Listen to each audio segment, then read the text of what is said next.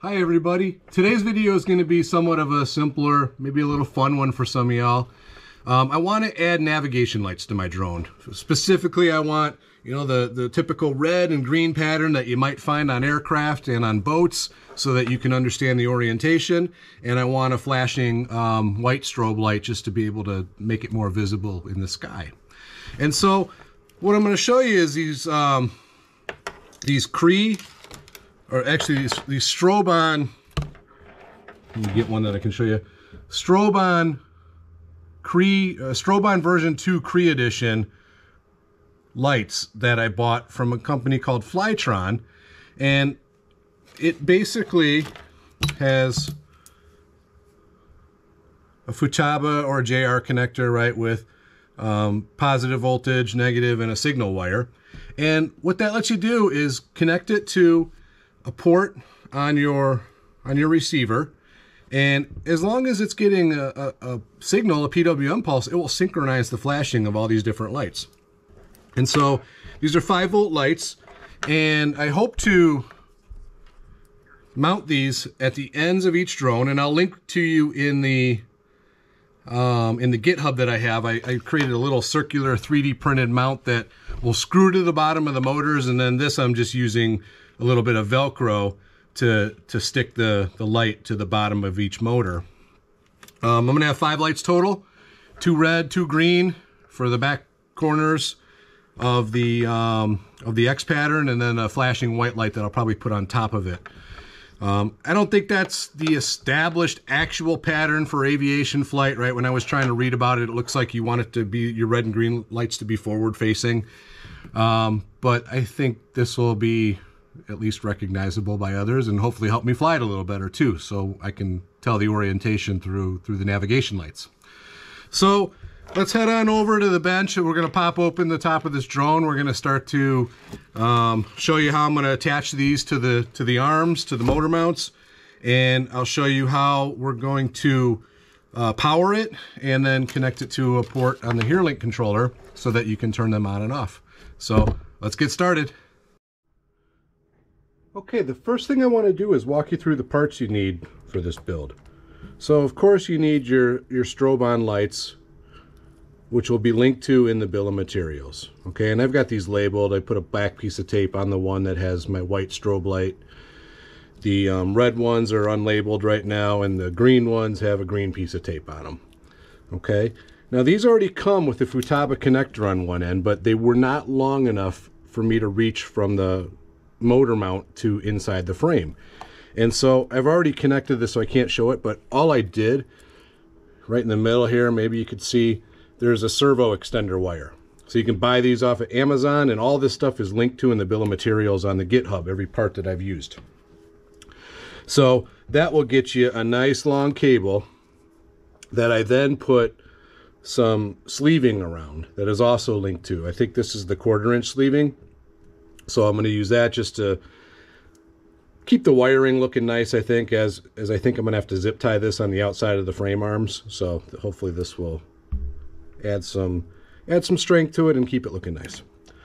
So the other part you're going to need too is if you followed my build exactly, you remember off the off the BEC, I made a little octopus cable that had a bunch of 5 volt, um, uh, I think these are the JH connectors for supplying power to other devices that I want to plug in.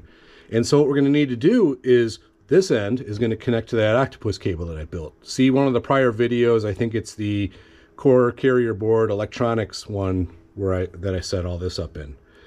And then and then I'll walk you through the BEC that I use and everything as well. And then on the other end, and these are this is just an adapter I bought from Amazon, again linked in the bill of materials. We've got this Futaba or JR connector, I think it's called, that just has power. Okay, there's no signal wire. It's just giving me the, the negative and the positive.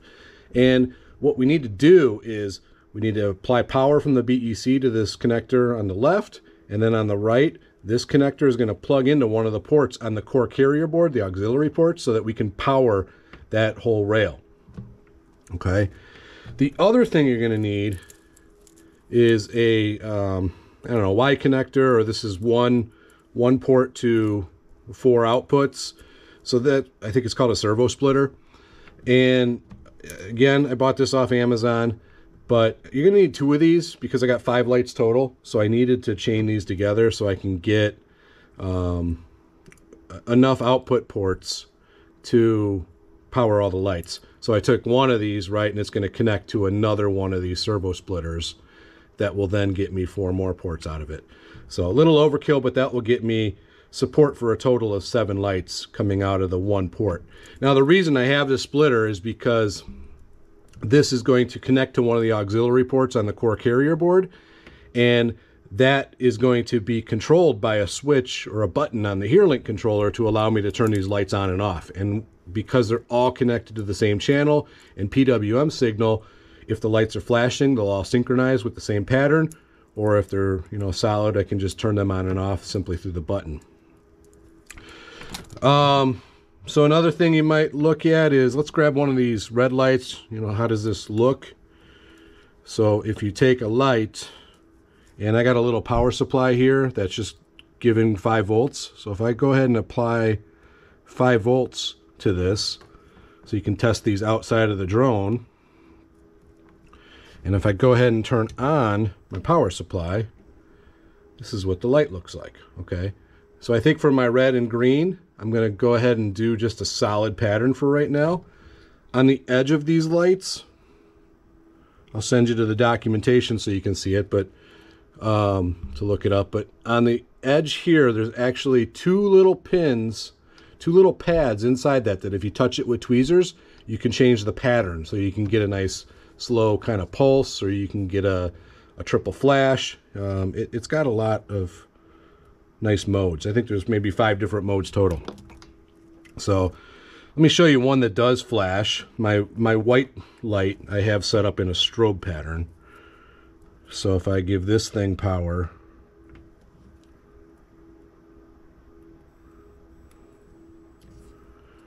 and pull the tape off so you can see it, you're going to see how that's going to flash. So I intend for this to be on the top of the drone, giving off a nice little pulse. So hopefully it can be identified in the air and other people can see it as a potential hazard.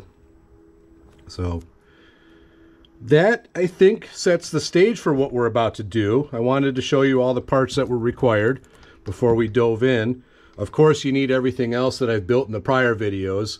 So on the drone itself, when I open up the internals again, there's a Kore carrier board, there's a cube orange autopilot or flight controller, and um, you know, a BEC that has already been set up to provide power to all sorts of devices. So all that is, of course, a prerequisite and a dependency for this to work right.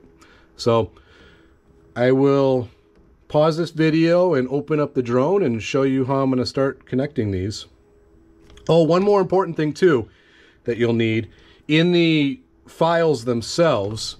There is a uh, in the in the GitHub repo. There's a 3D printed file section and in that, I set up these little circles, and let me pull it off the drone real quick while I'm filming. I set up these little circles that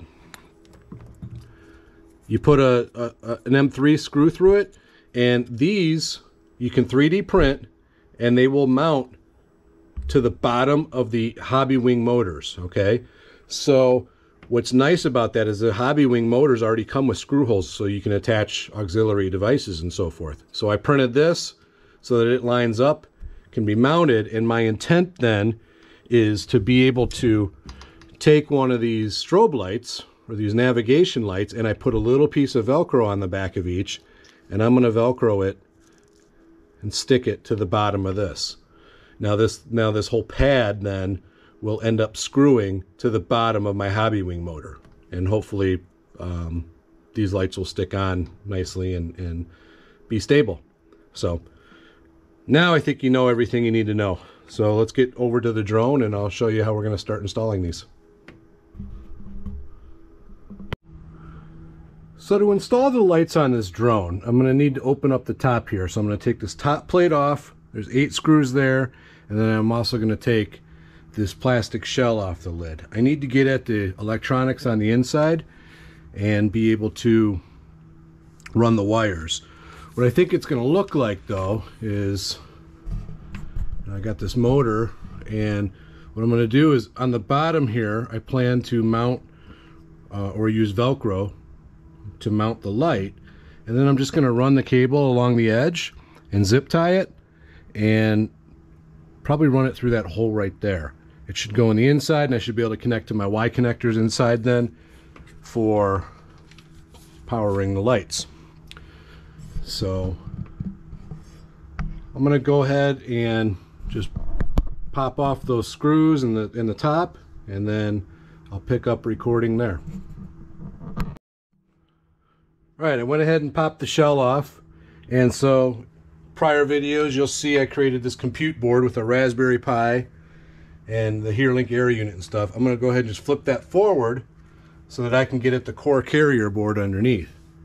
Now, I'll get a close-up in a few minutes here, but essentially,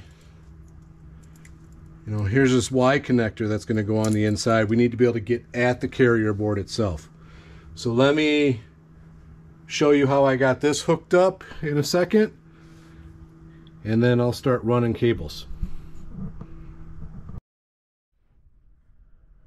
All right, where you need to get at is these auxiliary pins on the Kore carrier board where the air unit is also connected to. So the first thing I want to do is on my first auxiliary output, I'm going to take this Y connector and I'm going to plug that up to the very top port. So auxiliary port 1. And you can see here is, it's just the servo splitter, right? It's it's connected to that port and coming out. So I'll be able to connect my lights to that. I'm to have to connect a second servo splitter. Now the second piece we need to connect, remember I had that adapter from a JH connector from my BEC to um, a Futaba or JR connector. And so here's my BEC port up there. It's all wire wrapped and, and um, zip tied down but basically I'm plugging that one wire in and if I extend it out you can maybe see the whole thing here. I've got that wire a lot of wires in here right coming from that black port or from that BEC 5 volt port to a Futaba connector. Now I'm going to go ahead and just connect that I'm going to connect that to auxiliary port number 6 on this. So that will power the entire rail. Let me try and get a close-up of that. So there you can see my servo splitter is at the top and my power is coming into this, uh, the third one from the bottom, it's essentially two ports up. There's one empty port in between the Herelink connection and where I connected that power rail. Okay, so that's what our power connections look like. And then what I'm going to do, because I got four lights that I want to hook up, I've got a second splitter, right? So I'm going to connect that to one of these ports. And then I should be able to have enough ports in here to run all the wires and connect all the strobe lights. So let me pause there and start setting up to mount the strobe lights and show you that. All right, now for this next step, I've got the drone facing forward, right? So orientation is forward. This is the back right arm. And what I want to do is we're going to take the lights that we assembled with the sleeving. Okay. And what I want to do is use the Velcro and I'm going to stick it to the bottom of each one. And then I'm going to run the wire across the carbon fiber tube and I'm going to run the servo connector inside that hole up on the arm. And so what, what I'm going to end up with is two green lights on the back right and the front light arms, front right arms.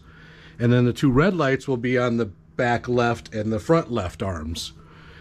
And finally, the white light is just going to hang out in the middle here, and we're going to run a cable up and come to the top of the drone there. So I'm going to go ahead and do one of these and show you what it looks like. And then I'll do the rest. It's going to be just a lot of rinse and repeat, so I don't want to show you a whole video of just attaching wires. And then we'll start to plug them all in. So let me let me mount this one and then I'll show you what it looks like. And then we'll move on to the rest. Okay, I got the light mounted at the bottom of the motor.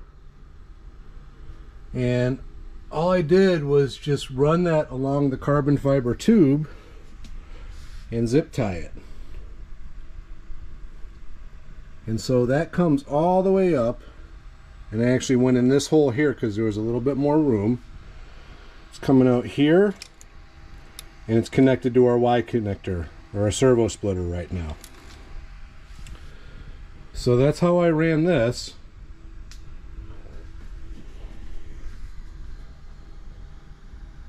And then let me go and run the other three on the motor arms and the white light up top and I'll show you what it looks like. Alright, I got all the wires run. The lights you're seeing right now are just the Hobbywing X-Rotor lights. So you can see the strobe lights are mounted to the bottom and they run in and connect to those servo splitters like I was showing you earlier. This will be the back left arm here. And then on the top, for right now, I just mounted this white strobe light right in the middle of my plate for kind of an aerial beacon. So now what I have mapped here is I've got my D button mapped in the Herelink controller I'm sorry, um, yeah, the D button and a short press on it. Map to output to channel 6 okay. And on the auxiliary input in mission planner you've got I, I've mapped channel 6 to output servo 9 okay and this D button short press is set to a toggle mode with a default value of 1000 or low and an active value of 2000 or high. And so when I press that, let me show you, see if I can see it all. You see, I saw a couple lights come on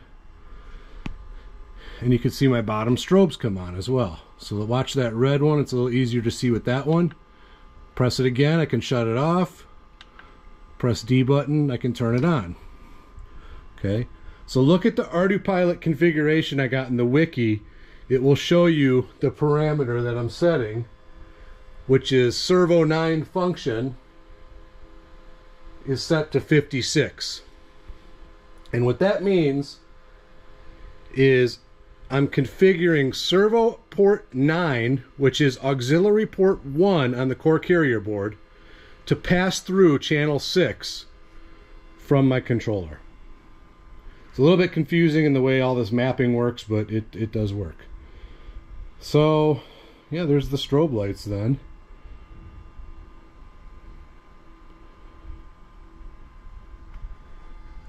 And these front arms are just bent down, but you can see there's a green and a red.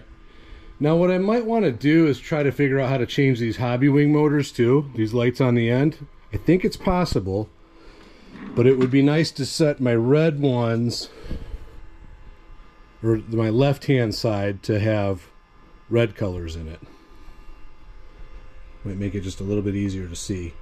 And maybe I'll tinker with making them strobe or flash, but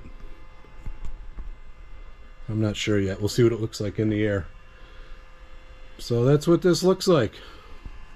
Hopefully this helps you add navigation lights to your drone.